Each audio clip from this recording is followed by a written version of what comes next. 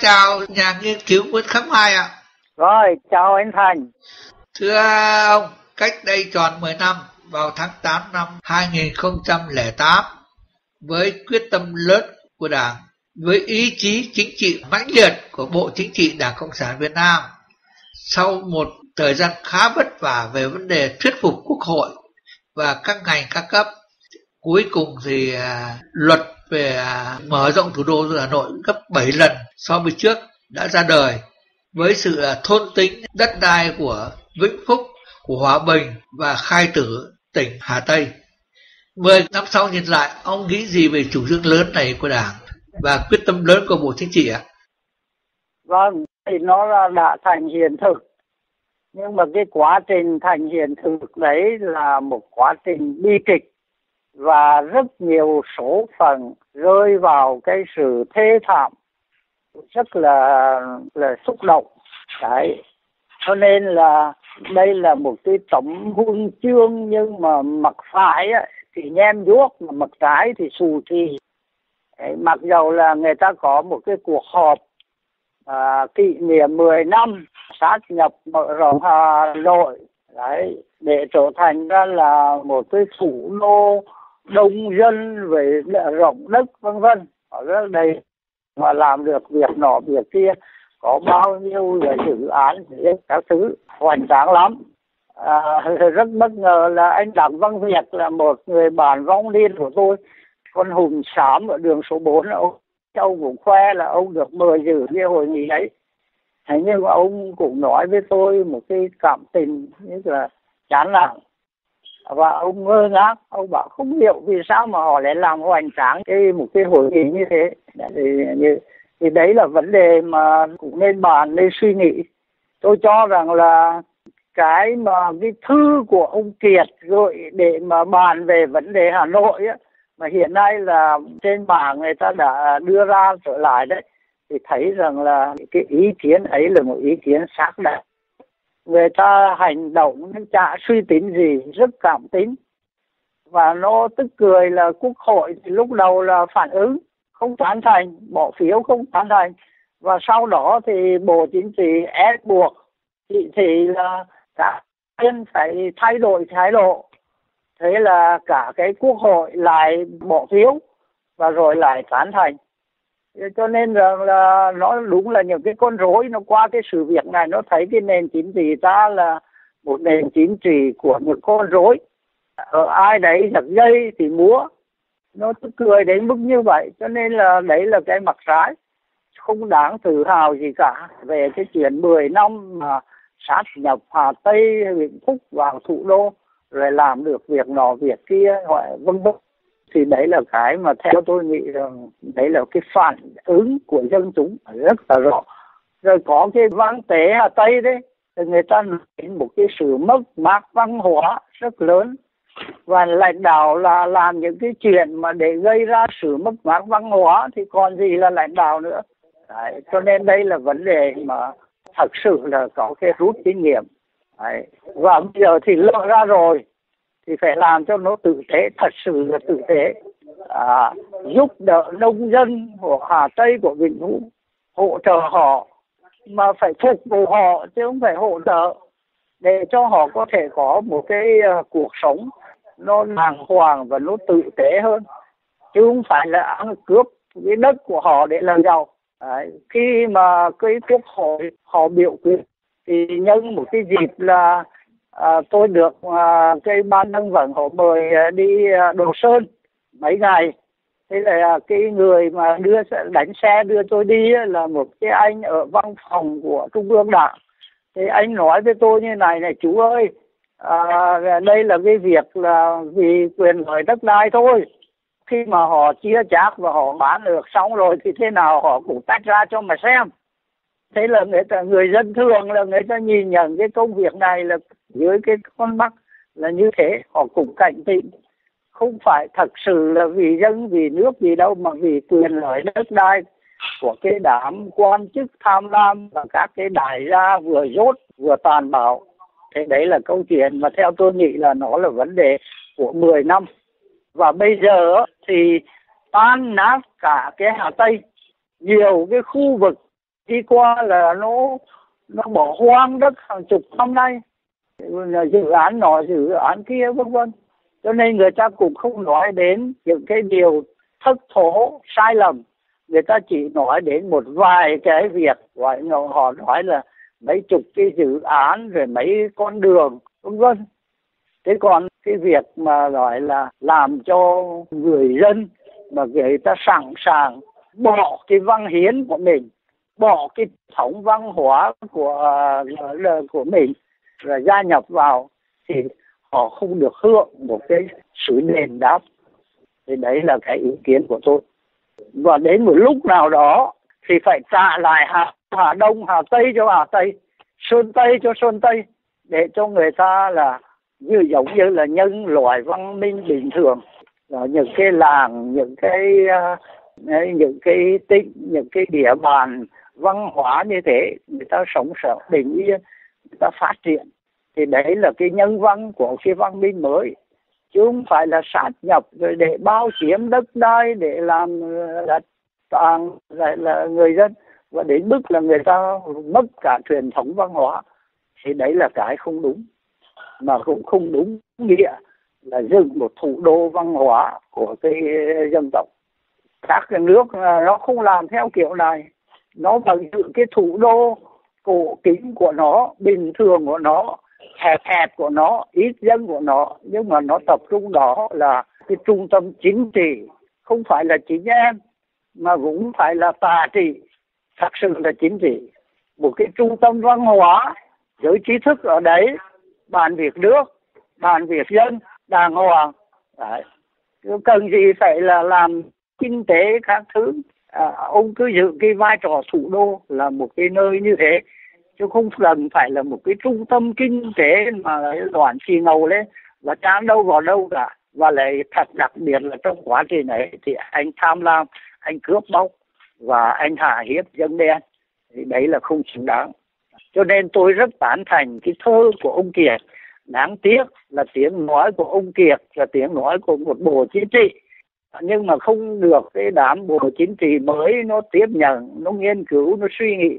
Và tôi cũng chê trách cái bộ chính trị mà trong cái quá trình nó chỉ đạo làm cái việc này, không đến nơi đến chốn. Và thật sự là có lỗi với dân, với nước.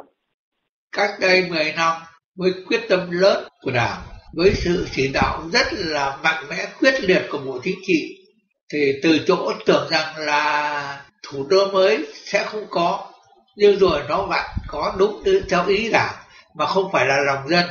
Mười năm sau nhìn lại, thì đúng là thủ đô mới có lớn, gấp 7 lần so với thủ đô cũ. Nhiều người có quyền, có chức, thì đã có được những những nguồn lực, nguồn tiền lớn gấp nhiều lần sau khi trước thủ đô trở thành thủ đô lớn. Nhưng còn lại là gì? Những dự án gọi là hoàn lạc, thành phố của khoa học người ta cái tự hào ở đây sẽ là thung lũng Silicon của Việt Nam. Rồi là thành phố vệ tinh Sơn Mai rồi biết bao nhiêu trung tâm à, nọ, trung tâm kia. Nhưng cuối cùng bây giờ đều là dơ phong cỏ mọc. Người dân Hà Tây về Hà Nội tưởng rằng sẽ mở mày mở mặt, nhưng cuối cùng đã phải phất cao ngọn cờ đồng tâm, đòi đất, chống lại bọn tham nhũng, cướp đất. Vậy thì thủ đô mới của chúng ta hiện nay có gì là đặc điểm cần phải tự hào không thưa ngài? À, mình có một cái anh bạn cũng là trí thức rồi à, cũng từng là giới lãnh đạo của cái Hà Tây cũ đấy. Anh cũng tham gia tỉnh ủy rồi bí thư huyện ủy đấy. Ông gặp tôi ông nói rằng là bởi vì cái việc mà bọn mình trở thành người Hà Nội và chúng mình mất hết. Đấy cho nên họ cũng là phản ứng không phải là họ sung sướng cái nội gì.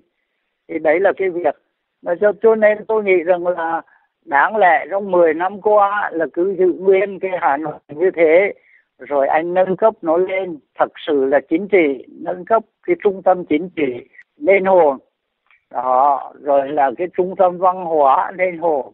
Cần gì phải là mà mở rộng rồi làm kinh tế kia mà nó bôi mắt nhiều lần tôi vẫn nói là tôi trích lại cái câu của ông Mark các bạn nói là Kakatum non est pictum tức là sự bôi bác không bao giờ là bức tranh cả. Tức là bôi bôi xóa xóa lèm nhèm như thế mà tượng là bức tranh. Thì đây là vấn đề. Đấy, cho nên là 10 năm qua là nhiều sự bôi bác hơn là vẽ một cái bức tranh cho nó hoành tráng cho nó đẹp đẽ cho nó nhân văn của Hà Nội. Và bây giờ thật sự như thế. Nông thôn không ra nông thôn miền núi không ra miền núi dân tộc không ra dân tộc. Nó lộn nhèo như thế. Và và như thế người ta nói đến những cái điều mà gọi là tự hào thủ đô thì tôi nghĩ rằng không có gì gì đáng tự hào.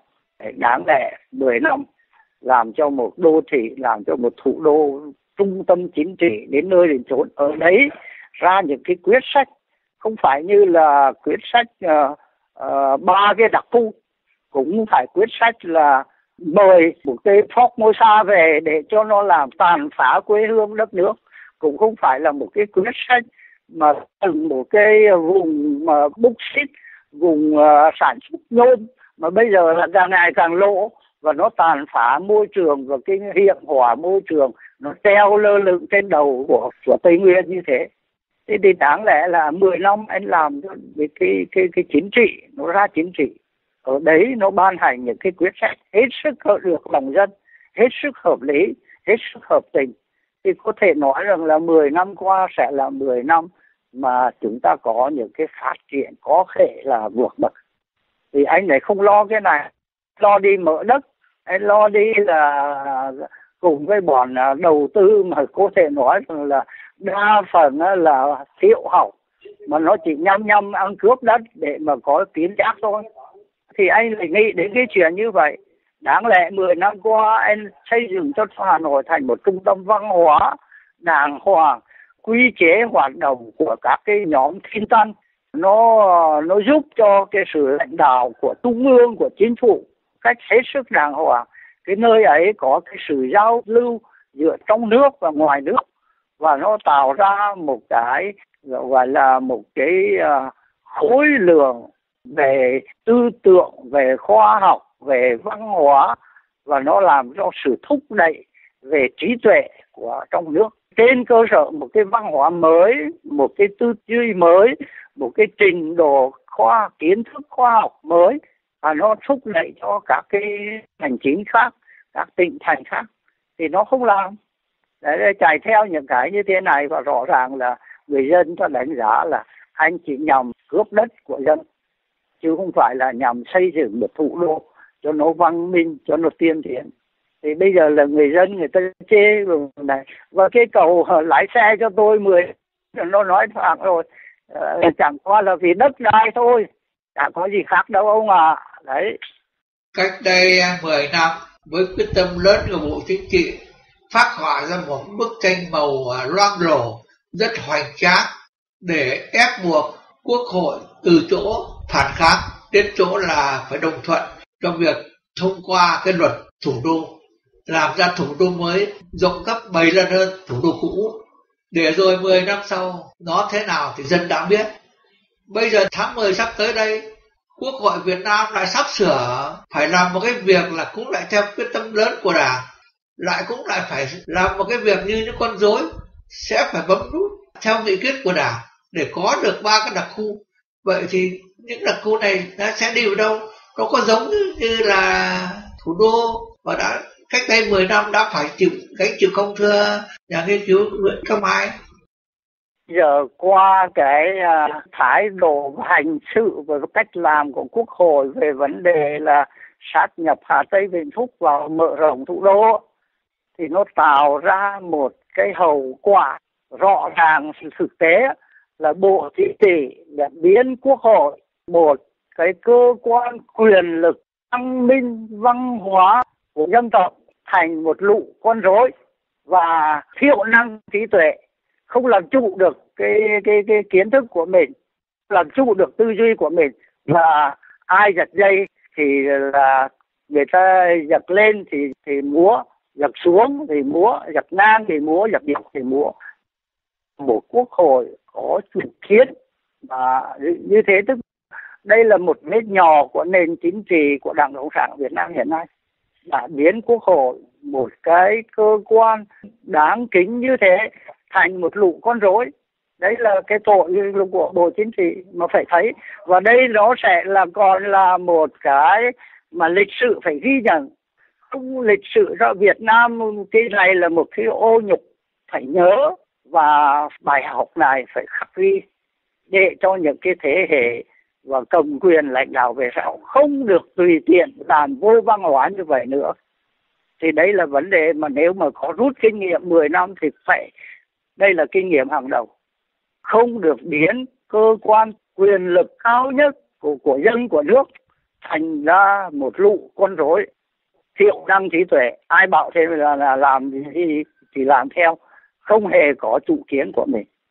Và làm cho một cái ờ, tổ chức như thế, tôn nghiêm như thế, hạ nó xuống thành ra hạ cấp như thế, tội của ai?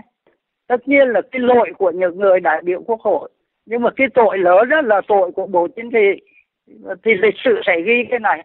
Có một thời kỳ, nền chính trị Việt Nam đã có một cái sự kiện ô nhục như thế. Thì nếu mà có nói gì về 10 năm, tôi nói thêm cái điều này bộ chính trị vẫn còn đấy vậy thì làm sao mà xóa được ô nhục để mà có được một cái quốc hội mà hiển hách như là nhà nghiên cứu Nguyễn Khắc Mai mong muốn ạ? À? Tôi nghĩ rằng là trong quốc hội có nhiều người rất tự tế nhưng mà với cái thể chế hiện nay là họ biến mình thành ra là là con rối thôi à, và cái cái uh, bộ chính trị phải thấy cái điều này là để, để thấy rằng mình đã không lo làm tròn được cái nhiệm vụ là xây dựng chính quyền văn minh văn hóa dân chủ tiến bộ tiên tiến ngang hàng như thế giới. À, tôi nhớ ngày xưa cụ ngô thị sĩ nói là đem đạo thánh hiền để của cách lòng người không bằng đem đời thường để cảm hóa lòng người. Thế thì cái đời thường là cái gì? Tức là thiên hạ bên châu âu, châu mỹ, nó hưởng được cái quyền dân chủ thế nào thì đời thường của việt nam, người ta cũng được hưởng như thế, người ta cũng được sống như thế. Thế mới là đúng đắn. Tức là để nâng cái vị trí của quốc hội của mình lên là chuyện bình thường của thiên hạ đời nay thì không làm, phải chạy đi làm những cái việc lên tinh ờ, nâng cấp đô để trở thành một cái trung tâm chính trị trung tâm văn hóa trung tâm trí tuệ của dân tộc. Thì không làm. Thế thì là, là, là tội lỗi của ai? Cho nên đây là vấn đề mà phải thấy cái khuyết điểm thấy cái tội lỗi và phải sửa nó một cách tích cực. Không thể coi đó như là cái chuyện đã rồi và nói rằng là nhăn cuội là mình có công lao này kia là làm thêm đường xã rồi có rất nhiều cái doanh nghiệp có rất nhiều cái dự án này kia. Tất cả những cái đấy rất là bình thường. À, những cái uh, chính phủ tầm thường nhất của thế giới cũng có thể làm được. Những cái hiện đô thị tầm thường nhất của thế giới họ cũng có thể làm được. Cho nên vấn đề là đi theo cái đúng cái tốt. Mà tất nhiên là có cái khó khăn thì không chịu suy nghĩ để làm lại lại tạo dựng lên cái bộ máy một cái cơ quan đáng lý là cơ quan quyền lực định cao của uh, trí tuệ của dân để điều hành đất nước. Thì biến họ thành ra một lũ con rối thì là cái là cái không xứng đáng cái là cái hồ đồ cái là cái đáng chê trách đáng phê phán đáng xấu hổ.